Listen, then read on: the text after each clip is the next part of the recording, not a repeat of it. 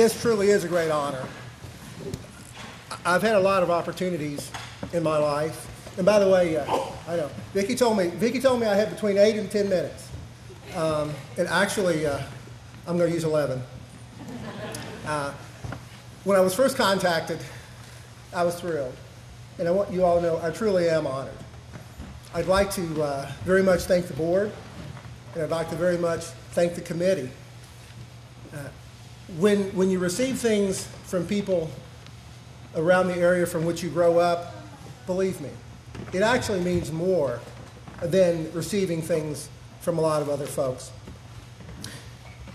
I didn't know whether to try to be lighthearted or, or serious, so I just decided I would be myself because that's truly, truly who I am. I enjoyed my time in the Davis County system. And the reason I'm going to use the 11 minutes because I really want the students to pay attention. Mr. Saylor mentioned opportunity before, and that's truly what I want to talk about to you all is opportunity. In my elementary school, I was a good kid, but I got to admit, the first time I got in trouble in school was in the first grade. I uh, was getting ready to sit down, and a young man pulled the chair from under me, so my butt hit the floor and my head hit the back of the chair. And the first thing I did is I jumped up and I actually started hitting the students on the head. I was the shortest kid in my first grade class, hard to believe, but I really was. Just as I started hitting him on the head, my teacher walked in the room, and uh, she wasn't very happy about that. She talked with both of us. She punished both of us. Well, I actually made us hold books out like this. What was really interesting is about five years ago, I was attending something here at, at Davis County, and um, she sat by me. And I told, I told her about that. I related the story, and she actually put her hand up to her mouth and said, Oh, I'm so sorry. I said, No, don't you ever say that. I said, That was the best thing you could have ever done. I said, What you taught me was that retaliation is unacceptable, and it shouldn't be in school. And I said, Besides, I'm an anesthesiologist. It didn't hurt me that bad. I loved all my teachers in high school, or in, in elementary school. And, and, and I give honor to every teacher I had in elementary school. In junior high, at Davis County Junior High at that time, uh, the teachers also were just absolutely wonderful. They encouraged me to look beyond what I could see and to listen for more than just the air as it blows through the trees. And as a result, I ran for class president. I was class president in the seventh, eighth, and the ninth grade. I also had a teacher who uh, spoke to the class one day about loving and learning to love your family and your family members. What she talked about was the fact that she and her sister had, had fought like cats and dogs their whole lives. And now that they were getting a little older, they were getting closer. They were starting to love each other. But then there was a problem. Her older sister was diagnosed with cancer and didn't have long to live. So the one thing she stressed to us was learn to love your parents and respect your parents, but also learn to love your brothers and love your sisters. And for you students, when the teachers tell you these things, don't, don't shake your head. You need to listen. What they're trying to do is, as Mr. Saylor pointed out earlier, is provide you with opportunities, opportunities to learn. I went on to high school, and I still had some wonderful teachers. I loved my teachers. I didn't always love them, but I loved my teachers.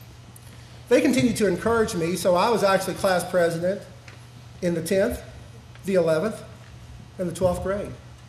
And I actually had forgotten about that until one of my, one of my kids pointed it out when they were looking at one of my books uh, one time. And um, I tell you these things not for you to look at me and see the things that I've done, but for the students to understand that the teachers are trying to help you. When I was in high school, I realized that the teachers actually cared about me. Not only that I learn, but that I be a good student, a good person, and a good American. So, for those of you who um, sometimes go to school and think, boy, I don't like this, understand that most of the negative feelings that you have about your teachers don't come from your teachers. It's coming from you, and you need to adjust your attitude. Also, in high school, was sort for me, it was one of those times when I started looking at um, all these little sayings or quotes. So I, I carried some quotes with me. And some people think those are kind of trite or stupid. Not for somebody who's struggling. And the first quote that I, that, uh, I carried with me was, You got to believe. And for those of you who um, watch baseball, it actually is one of the things that Tug McGraw said when he was the reliever in the seventh game of the World Series that they weren't even supposed to be in. And they won. I would say that every day. You got to believe. When you start where I started, you got to believe. You got to believe in yourself. The other thing I thought about was it's going to be a good day. High school is kind of one of those times when you're up and down all the time. Someone says something to you, you can be feeling great, and all of a sudden the world is gone. So I had to convince myself it's going to be a good day, no matter what people said and no matter what people did. You see, at that time, the ninth grade had come out to the high school, and there were about 1,400 students at Davis County High School. And, on, and at most, there were, there were less than 20 blacks in the school. So I had a lot of things that were said to me and a lot of things that were done. But you know what? It taught me a lot about assessing who was interested in my learning, who was interested in my being a success, and those who were going in the other directions. So some of the little quotes and some of these little things, they're not harmful. You can use them to your advantage.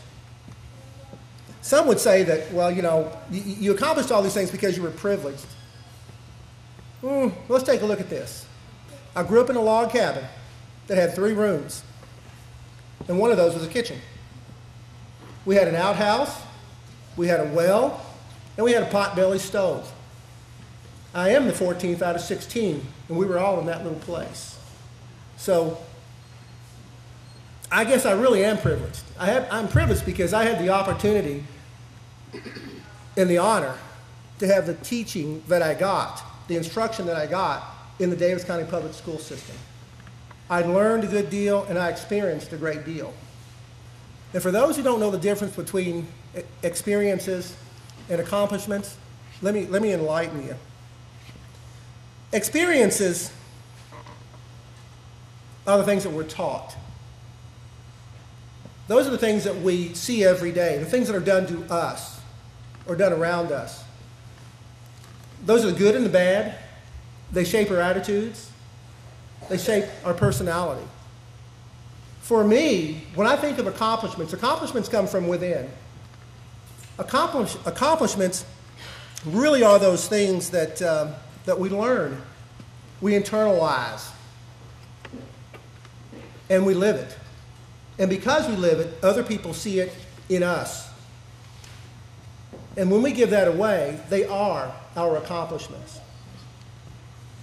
You know, I, I, I said, I said 11 minutes, I'll, I'll make it. And, and with that, what I'm going to do is, um, you know, but accomplishments take hard work, accomplishments take patience, and accomplishments take focus. Focus every day. I'm going to sort of finish with, with just a few things I, have carried with me um, for many, many years. For little sayings that have helped me get through a lot of things. Because, because you make out of it what you put into it.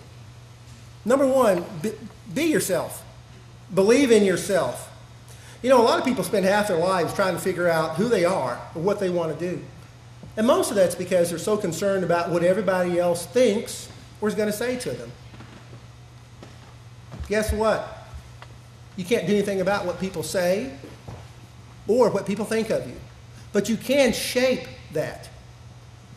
You can shape that by how you respond, how you act, and how you react in critical situations. That's what people are going to remember about you, and that's what your accomplishments, to, your accomplishments are going to be. I'm going to say this anyway because my kids told me not to, but one of my favorite sayings is if you don't use your head, you may as well have a butt on both ends. okay? Now, you laugh about that, but, but think about it for a minute.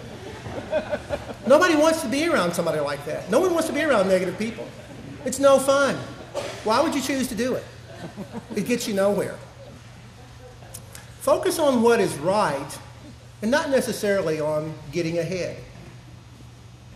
We always talk about getting ahead. Getting ahead implies getting over on someone or beating someone. Focusing on something, focusing on what is right, when you do that, you're already ahead. What you do is you elevate yourself and you elevate others along with you. And that's what God would have us do. So focus on what is right, not getting ahead. I encourage you to compete against others and compete hard. But remember, don't measure your, don't measure your successes by what other people think. Measure your success by what it is that you want in life. There are many people who've made a lot of money, who live in big houses, drive big fancy cars. They hate it.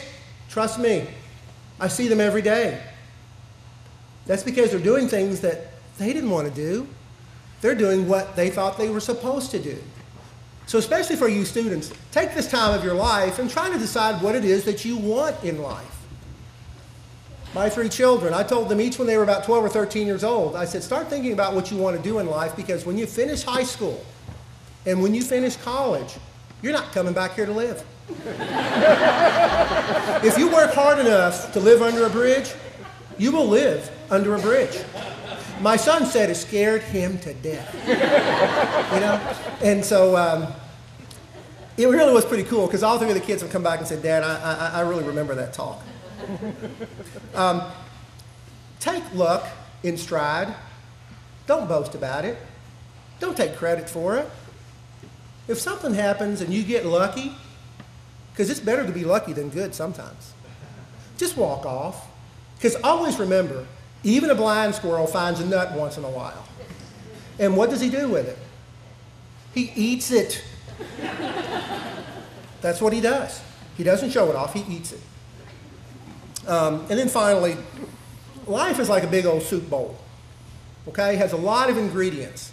And you'll always hear that you'll get out of life what you put in it. And partially, partially that is true. But it also depends on how you put your ingredients in. It's more than just how hard you work. A lot of it is how you work hard. And these little things will help you, especially you students, as you grow. Now, my wife's not here tonight, and I wish she was. But you see, my wife is a teacher, and she wanted to make sure that she was going to be ready for school tomorrow. But I just, I just want to thank you all for allowing me this opportunity to speak and uh, for allowing me to be honored by this award. Thank you.